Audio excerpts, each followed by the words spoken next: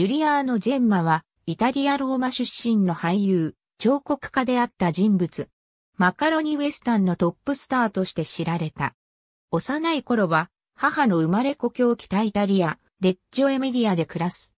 小さい頃から肉体労働などをして家計を支え、高校時代はボクシングや機械体操で数々の賞を取った。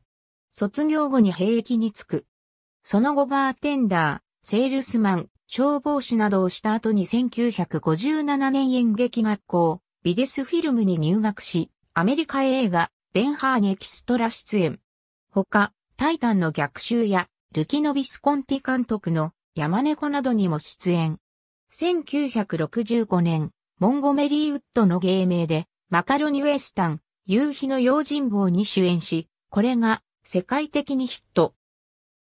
同時期に芸名を本名のジュリアーノ・ジェンマへと変える。その後も、荒野の1ドル銀貨、南から来た、用心棒、星空の用心棒、怒りの荒野といったマカロニウエスタンに立て続けに主演し、世界の大スターへ。私生活では人気が出る前からのマネージャーのナタリア・ロベルティと結婚している。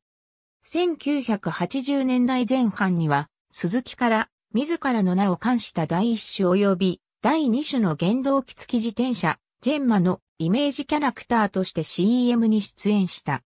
また、来日もしている。1991年には、イタリアロケが行われた日本映画、フィレンツェの風に抱かれてに出演し、若村真由美と共演した。晩年は彫刻家としても活動していたが、2013年10月1日、ローマ近郊のチェルベーテリで、自家用車を運転中に対向車と正面衝突し負傷。